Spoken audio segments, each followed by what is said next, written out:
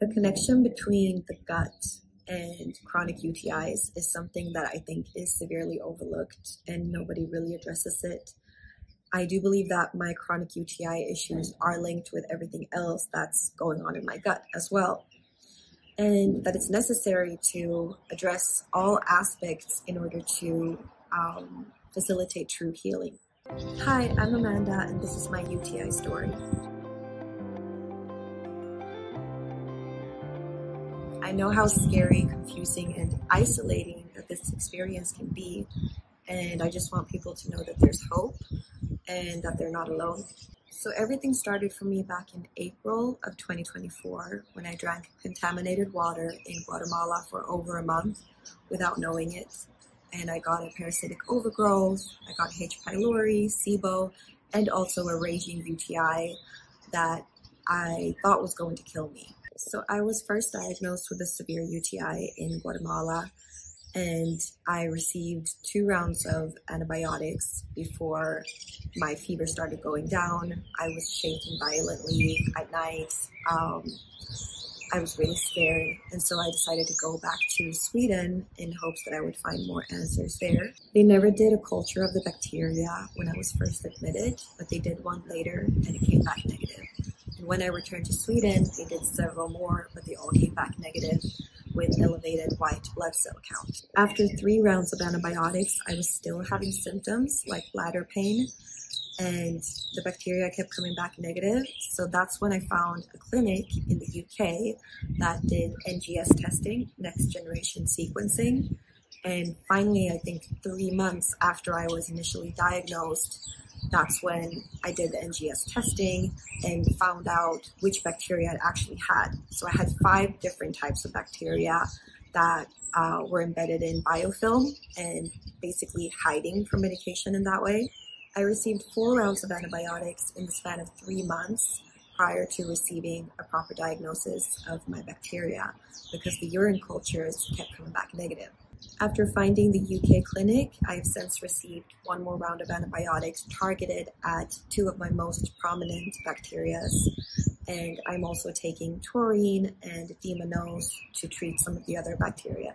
Alongside this, I'm also taking two different biofilm disruptors and I'm taking those long term and supplementing with magnesium and L-ornithine.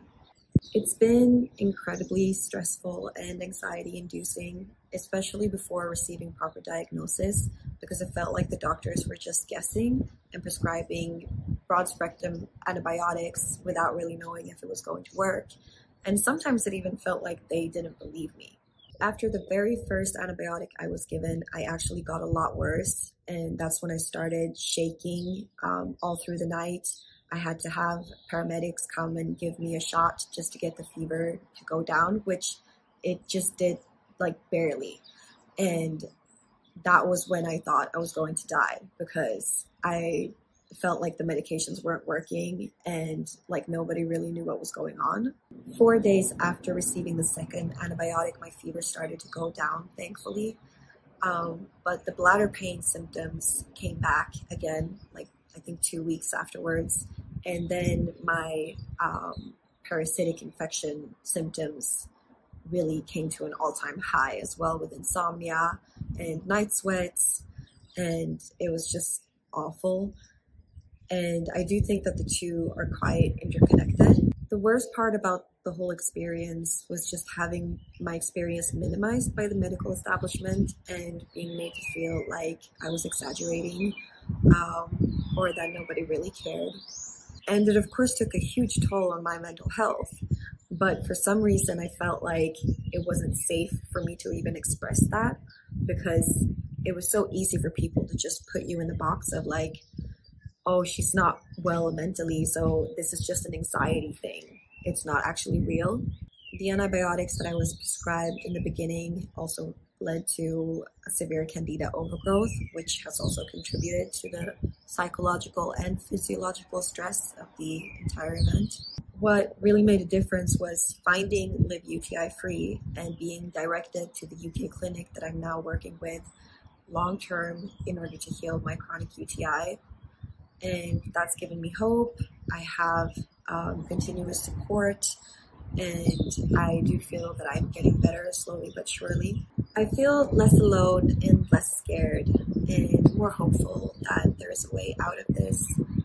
And I can already see um, the positive changes that have happened and how I don't have to rely as much on antibiotics as I did. And I can see a light at the end of the tunnel. The connection between the gut and chronic UTIs is something that I think is severely overlooked and nobody really addresses it. I do believe that my chronic UTI issues are linked with everything else that's going on in my gut as well. And that it's necessary to address all aspects in order to um, facilitate true healing. I think my situation was quite extreme, um, considering the unfortunate circumstances that led to my developing um, a whole host of health issues within the matter of a month. But it's important to understand how everything is interconnected and to take precautions when traveling abroad. Honestly, this has taken a huge toll on every aspect of my life. I've had to change my whole lifestyle to revolve around my health, my diet, my protocols, and nervous system regulation. It honestly feels like a full time job.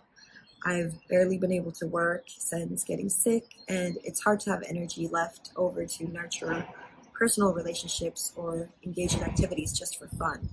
This has been the hardest experience of my life and has affected my mental health profoundly. For the first few months, I cried every single day. My mom has been a huge comfort.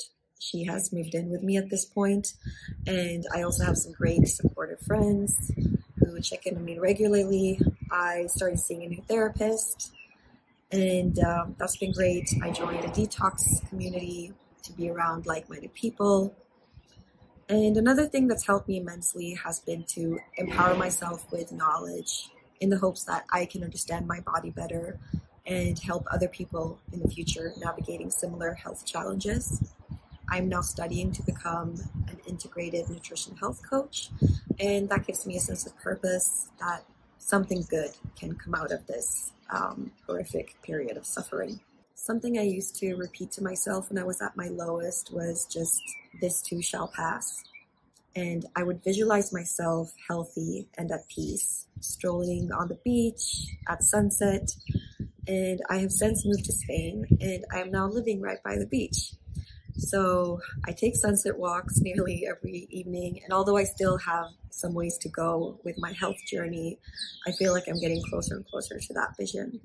And I've learned to be my own best patient advocate, to trust my intuition fiercely, and to keep seeking answers. Hi, I'm Jenka from Love. I hope you found this video helpful. There's no single approach that will work for everyone when it comes to health, so I invite you to watch more patient videos here or read more stories over on our website, liveutifree.com, and take what resonates with your journey. Remember, it's always best to consult with a clinician before trying something new. If you'd like to share your own story, please get in touch. Our info is in the description. And feel free to reach out with any question about patient stories, finding a clinician, or your own personal experience. Also check out the description below for more helpful resources. If you find these videos valuable and would like to support what we do, don't forget to subscribe and hit the bell button to stay updated when we post new content. Thanks so much for watching and for being part of this community, and remember, your story matters.